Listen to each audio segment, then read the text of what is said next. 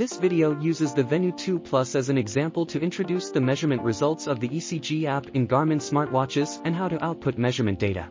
If you are not sure how to set up and enable the ECG application, please refer to this video first. Also, make sure to follow the instructions in this video to obtain the best measurement results. Please note that the ECG app can only measure the first lead ECG and is not recommended for users with other known arrhythmias to determine whether the user has atrial fibrillation or sinus rhythm. There are several results from the ECG app measurement. Each measurement result only applies to that specific measurement and cannot represent the fixed state of the heart rhythm. Sinus rhythm. When the result shows sinus rhythm, it means that your heartbeat looks normal and the atrial and ventricular heartbeat rates are consistent. Atrial fibrillation. When the result shows AFib, it means that your heartbeat is irregular. AFib is an irregular heartbeat phenomenon caused by the asynchrony of atrial and ventricular beats. If you get unexpected AFib results, you should consult your doctor. Heart rate above 120 beats per minute.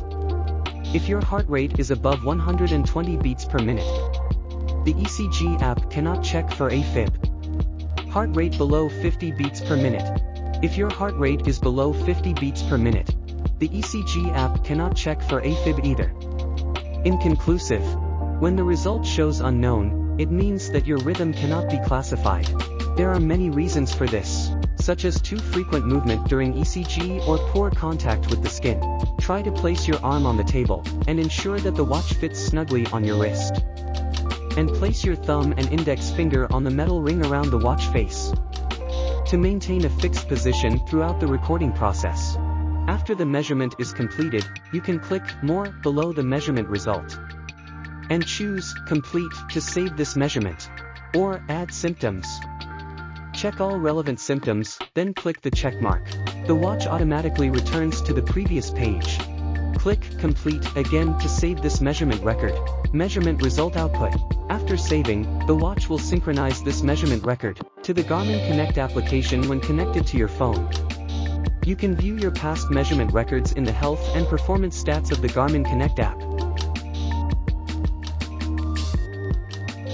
Click More in the upper right corner to download the PDF report for that measurement. Please note that the Garmin ECG app is for over-the-counter use only.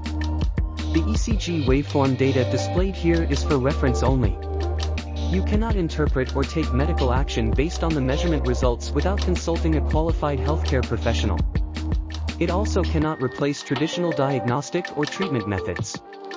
For more instructions and precautions, please download the ECG application user manual from the Garmin official website support center.